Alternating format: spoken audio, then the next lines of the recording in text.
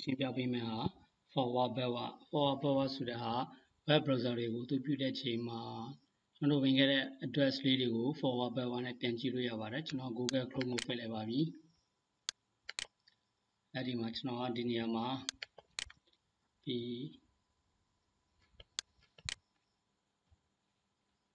BNRD S bar ဆိုတာရေးလိုက်ပါပြီ။နဲ့အဲအကြောင်းလေးပဲကျွန်တော်ကရှင်းပြပေးမှာ ကျွန်တော်ဒီထဲမှာ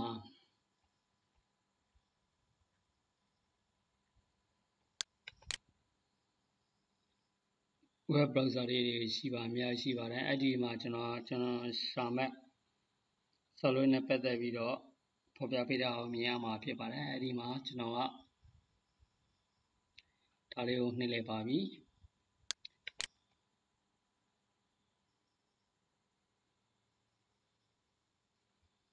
အဲဆိုရှင်ဒီမှာကျွန်တော်ဝင်ခဲ့တဲ့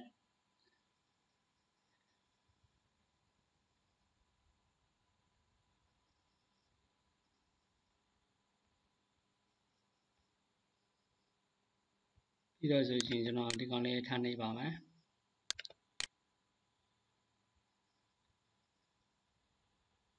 ပြင်ချင်းကျွန်တော်အဲ့ဒါထားနေပါဦးမှာဒီကောင်လေးပဲကျွန်တော်ထားနေပါမယ်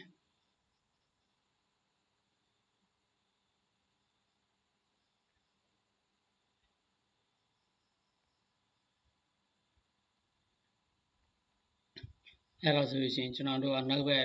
ခုကြည့်ထားတဲ့ web website တွေရဲ့နောက်ဘက်ကို web page တွေရဲ့နောက်ဘက်ကိုပြန်ပြီးတော့ရောက်ချင်တယ်ဆိုလို့ရှိရင်တော့ဒါ back ဆိုတဲ့ဒီ back ဝအမြလေးကိုပြန်နှိပ်ရပါမယ်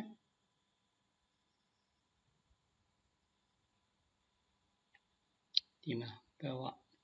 နောက်တစ်ခါ back ဝအမြလေးပဲနောက်ဘက်အမြလေးကိုထပ်နှိပ်ပါမယ် back ဝကိုထပ်နှိပ်ပါမယ်ဘဲဝါကိုထားနေပါမယ်ဒါ forward များလေးကိုကျွန်တော်ပြန်ပြီးတော့ထားနေပါမယ်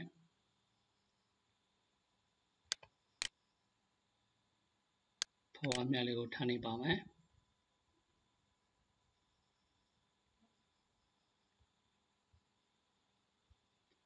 forward များလေးကိုထားနေပါမယ် ခုကျွန်တော်ရှာထားတဲ့ web browser လေးတွေ web နှိပ်နှိပ်ပြီးတော့ဝင်ခဲ့တဲ့ web browser လေးတွေကို forward backward နဲ့ပြန်ပြီးတော့ကြည့်လို့ရပါတယ်နောက်ထပ်တစ်ခုကတော့ကျွန်တော်ထပ်ရှင်းပြပေးမယ့်ဟာကတော့ history ဖြစ်ပါတယ် history ဆိုတာဟာမိမိဝင်ခဲ့တဲ့ web address လေးတွေကို ဘယ်ချိန်မဆိုပြန်ကြည့်လေပြန်ကြည့်ချင်တယ်ဆိုလို့ရှိရင် history ကိုနှိပ်ပြီးတော့ကြည့်လို့ရပါတယ်ဒီနေ့ဝင်ထားတဲ့ web address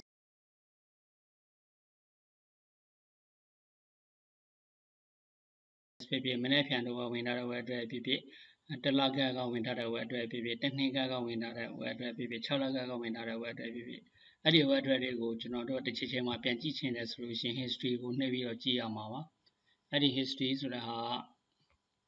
ကျွန်တော်တို့တွေက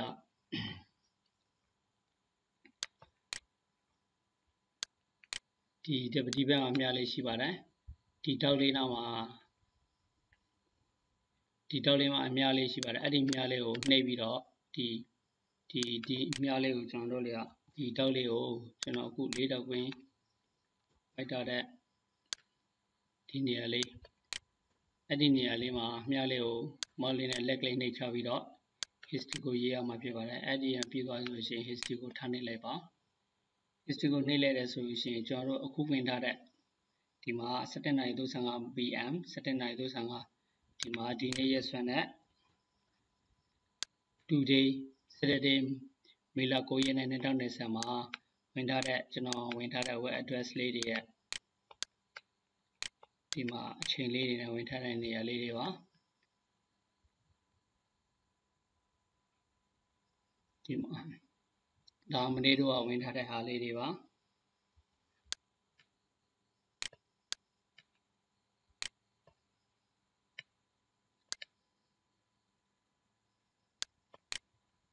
အဲ့အဲ့ဒီလိုမျိုးကျွန်တော်တို့ကကြည့်ချင်တဲ့ဟာလေးတွေကိုဒီတော့မှာရှာပြီးတော့ဒီမှာမေလမန်လာ22ရက်နေ့တော့ဝင်ထားတဲ့ဟာလေးပါအဲ့ဒီတည်းမှာကျွန်တော်တို့ကဒီနေ့ပြန်ပြီးတော့ ဒီတစ်ခုခုကိုကျွန်တော်တို့ကကြည့်ချင်တဲ့ဆိုရင်ဥမာဒီတော့မှကျွန်တော်တစ်ခုခုရွေးလိုက်ပါမယ်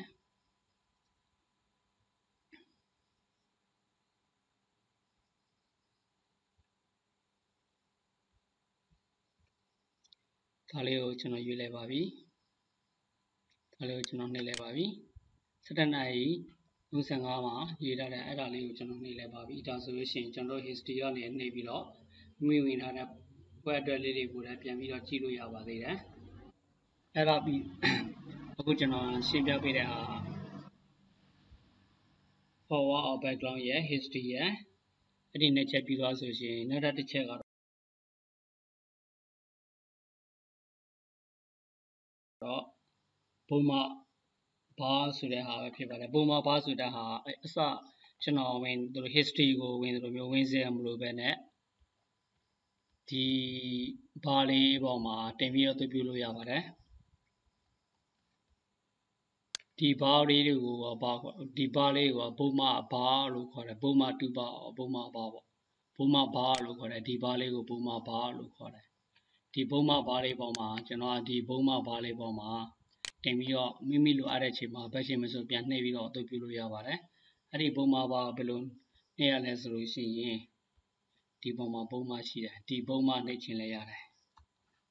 ဒီပုံမှလေးကိုနှိပ်ချင်လဲရတယ်ဒီပုံမှမနှိပ်ချင်ဘူးဆိုလို့ရှိရင်ဒီထောက်နာလေးမှာအစကျွန်တော်ရှင်းပြပေးတဲ့ဒီသုံးလေးသုံးလုံးအဲ့ဒီနေရာလေးမှာမောက်လေးနှိပ်ချပြီးတော့ဒီမှာပုံမှအဲ့ဒီပုံမှနှိပ်ချင်လဲရပါတယ်ဒါဆိုရင်ချင်းကျွန်တော်ဒီပုံမှန်လေးကိုမော်လေးနဲ့တစ်ချက်ကလေးလိုက်ပါပြီဒါဆိုရင်ဒီပုံမှန်ပါတဲ့မှာ ကျွန်တော်တို့ကထည့်ထားတဲ့ဟာလေးကိုဒီကြားမှာမြင်ရမှာဖြစ်ပါတယ်ဒီကြားဘယ်လိုထည့်ရမလဲဆိုလို့ရှိရင်ကျွန်တော်တို့လေးအားတစ်ခုခုကိုကျွန်တော်ဒီကြားမှာ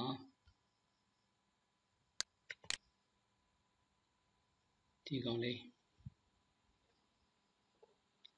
ဒီမှာကျွန်တော်ရှာရတဲ့ website ထဲမှာရှိတဲ့ဒီ web page တွေကဘာလဲဆိုလို့ရှိရင် Guide to North America part part ဆိုတဲ့ဒီစာသားလေးနဲ့ပုံမှန်ထမှာသိမ်းပါမယ်ဘယ်လိုသိရလဲဆိုလို့ရှိရင်ဒီကောင်လေးရဲ့ဒီနားမှာ star လေး star ဆိုတဲ့ကြက်ပွဲလေးရှိတယ်ဒီကြက်ပွဲလေးအဲ့ဒီကြက်ပွဲလေးကိုမော်လေးနဲ့တစ်ချက်နှိပ်လိုက်ပါအဲ့ဒါဆိုလို့ရှိရင်ဒီမှာကျွန်တော်တို့ဒီရတဲ့ထဲမှာရှိတဲ့နေရာတစ်ခါတည်းဖြစ်သွားပါပြီဒီနေလေးကိုကျွန်တော်ပေးချင်တာမမဟုတ်ဆိုရှင်တခြားနေ ဒီနဲ့အခုပေးချင်တဲ့နေနဲ့ပြောင်းပြီးတော့ပေးလို့ရပါသေးတယ်ကျွန်တော်ဘုံမဓမ္မအာသာဘုံမဓမ္မသိချင်တာလားအာသာဘုံမမသိချင်ဘူးဆိုရှင်ကိုယ်တိုင်နေပေးပြီးတော့သိလို့ရပါသေးတယ်အဲ့ဒီနေလေးရပါလဲဆို new folder နေပြီးတော့အဲ့ဒီ new folder ဆိုကျွန်တော်ပေးလိုက်ပါမယ်အဲ့ဒီ new folder ထဲမှာသိမှာပေါ့ပြီးတော့ဆိုရှင် done ဆိုပေးလိုက်မယ်ဆိုရှင်အခုကျွန်တော်ပေးလိုက်တဲ့ cut to နောက်အမေရိက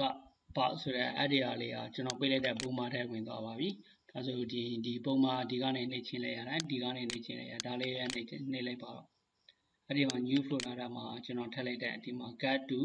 နောက်အမေရိကဘာဆိုတဲ့ဟာပေါ်ပါပါပြီအဲ့ဒီကောင်လေးကိုမော်လင်းနဲ့နှစ်ချက်ကလေးလိုက်မှဆိုရှင်ဒီပုံမှန်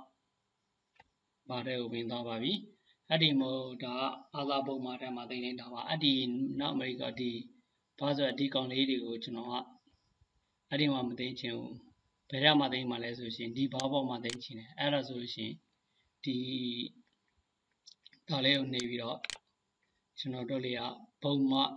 အာ sorry ပါဒီကောင်လေးကိုကျွန်တော်ပြန်နှိပ်လိုက်ပါမယ်ဒါလေးနေပြီးတော့ကျွန်တော်တို့ကဘယ်မှာသိမှာဆိုဘုံမဘာဘုံမဘာလို့ခေါ်လို့ရတယ်ဘုံမတူပါခေါ်လို့ရတယ်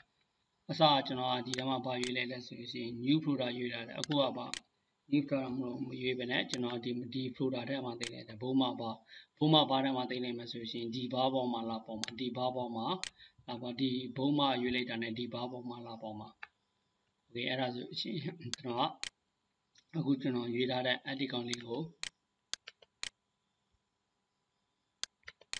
ခဏလေးပါ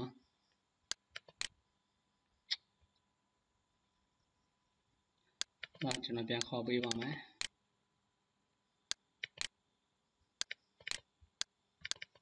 ဒီကောင်လေးကို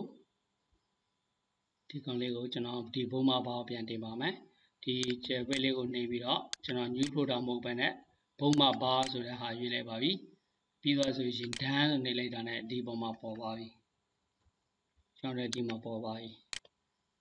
Got to not America ဘာဆိုတဲ့အဒီကောင်လေးကဘယ်ပေါ်တင်လိုက်တဲ့ဆိုရှင်ဒီဘာပေါ်တင်လိုက်တယ်ဒီဘာကိုဘုံမဘာလို့ခေါ်လိုက်တယ်ဒါဆိုရင်ဒီကောင်လေးကိုကျွန်တော်ပိတ်လိုက်ပြီ ပိတ်လိုက်ပြီ Google Chrome ဆိုအဲ့ဒီ program လေးပိတ်သွားပြီဒါဆိုအဲ့ဒီ Google Chrome လေးကိုမို့လေးနဲ့နှစ်ချက်ပြန် click ရပါဒါဆိုပွဲသွားပြီကိုနှစ်ချက်ကလေးပွေလာတဲ့အချိန်မှာဆိုရင်ဒီမှာကြည့်ကြည့်ကျွန်တော်ထည့်လိုက်တဲ့ဒီနေရာမှာ I to နောက်အမေရိကဘာဆိုတဲ့အတ္တိကောင်လေးဒါဆိုဒါလေးနှိမ့်လိုက်အစဟာကျွန်တော်တို့နှိမ့်လိုက်တဲ့ဟာပြန်ပေါ်လာပြီအင်းကျွန်တော်တခြားဟာလေးတွေလုပ်ချင်တယ်ဆိုရှင်လည်းဒီလိုပါပဲအဲ့ဒီပုံမှာဘာတယ်ထည့်ပြီးတော့တုတ်ပြလို့ရနိုင်ပါတယ်ဥပမာပေါ့ ဘာလဲဆိုရှင် today 2DA1 day US dollar today US dollar exchange rate in Myanmar ဆိုတဲ့အဒါလေးကိုကျွန်တော်ရွေးလိုက်ပါပြီဒီနေ့ today US dollar exchange rate ဆိုတာရွေးလိုက်တာနဲ့ဒီကောင်မြန်မာကျပ်ငွေဒီနေ့ဒေါ်လာဈေးဘယ်လောက်လဲ yes အနေနဲ့ဖော်ပြပေးတာကိုမြင်ရမှာဖြစ်ပါတယ်ဒီမြန်မာငွေနဲ့ 1395ကျပ်ဒီ US ဒေါ်လာ1မှာ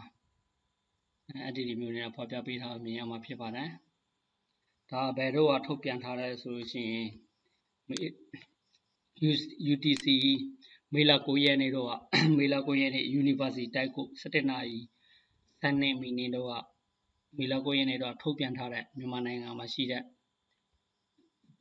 ဒေါ်လာမှာဆိုရှင်1395ကျပ်ရှိပါတယ်အဲ့ဒီကောင်လေးကိုကျွန်တော်တို့တွေကအာအများရန်ဒီဘားပေါ်မှာပေါ်ဖို့အတွက်ဘုံမှာဘားပေါ်မှာပေါ်ဖို့အတွက်ပြုလို့ရပါတယ်အဲဆိုရင်ကျွန်တော်တို့က refine agent research data on မြန်မာထားနေလိုက်ပါမယ်အဲ့ဒီကောင်လေးပဲဒါဆိုရင်နိုင်ငံလိုက်ဒီမှာဒေါ်လာဈေးကွက်ဒေါ်လာဈေးနှုန်းလေးတွေကို ဖော်ပြပေးထားမြင်ရမှာဖြစ်ပါတယ်ဒီဒေါ်လာဈေးတွေအပုံတွေတွက်လို့မရပါဘူးတင်းတင်းနဲ့နဲ့ဈေးနှုန်းတွေလည်းကွဲပြားခြားနားမှုရှိပါတယ်ဒါဆိုရင်ဒီကောင်လေးတွေကိုကျွန်တော်တို့ကဘုံမဘာပေါ်တင်ချင်တယ်ဆိုလို့ရှိရင်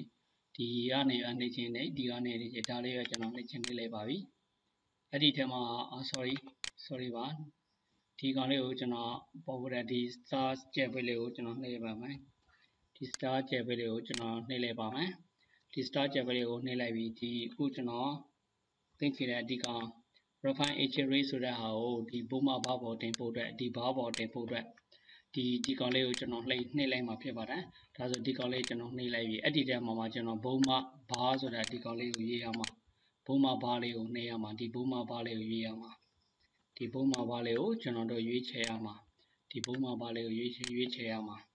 ဒါဆိုရင်ကျွန်တော်ကဘုံမဘာလေးကိုရွေးလိုက်ပြီးဒီမှာ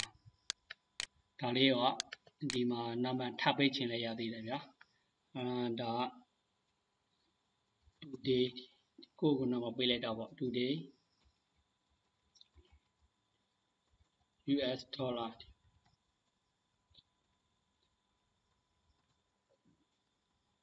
ရိတ်